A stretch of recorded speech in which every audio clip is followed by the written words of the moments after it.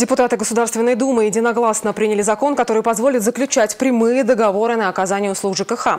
Что сулят поправки в жилищный кодекс, обсудили в Доме правительства. Подробности у Дмитрия Ковалева.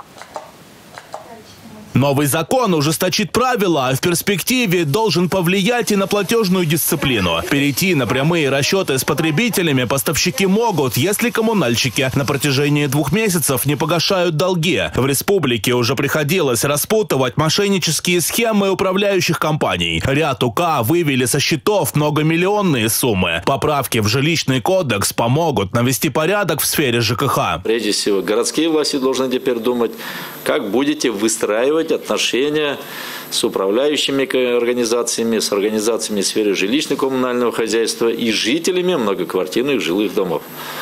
Мы, допустим, уже привыкли, система налажена, когда люди напрямую оплачивают за электроэнергию, за газ э, поставщикам в отдельных э, территориях, по отдельным микрорайонам проблем очень много возникает. Прямые договоры теперь могут быть заключены на поставку холодной и горячей воды, отопления, а также вывоз мусора. Отказаться от услуг управляющих компаний федеральный закон позволит и собственникам жилья. Это собрание жителей многоквартирных жилых домов, которые на своих собраниях решают, как, соответственно, найти варианты решения и разрешения. И во избежание появления и защиты граждан от двойных квитанций э, о заключении таких договоров, об изменениях уведомляется орган государственного жилищного надзора. У вас сейчас дополнительные полномочия появляются. В региональном Минстрое уже готовятся перейти на новую систему расчетов. Сейчас еще выйдут подзаконные акты, потому что это изменения в жилищный кодекс Российской Федерации. Не совсем понятно пока вот из тех формулировок, которые есть в законе,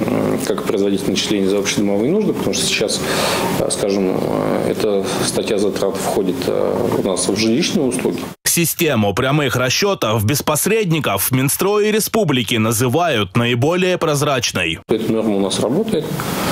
Ну и, скажем, просто стало более законным ее применение. Вот, допустим, Чувашская энергосбытовая компания, наши электрики, они, э, у них по закону об электроэнергетике была возможность еще до принятия этого федерального закона о внесении изменений в жилищный кодекс, возможность расторгнуть договор энергоснабжения с управляющей компанией. В приоритете и в любом случае мы будем в этом направлении двигаться, что у нас люди и жители Чувашской республики будут оплачивать счета напрямую ресурсоснабжающим организациям. Ожидается, что новый закон вступит в силу в апреле. Дмитрий Ковалев, Галина Титарчук, Андрей Шоклев и Борис Андреев. Республика.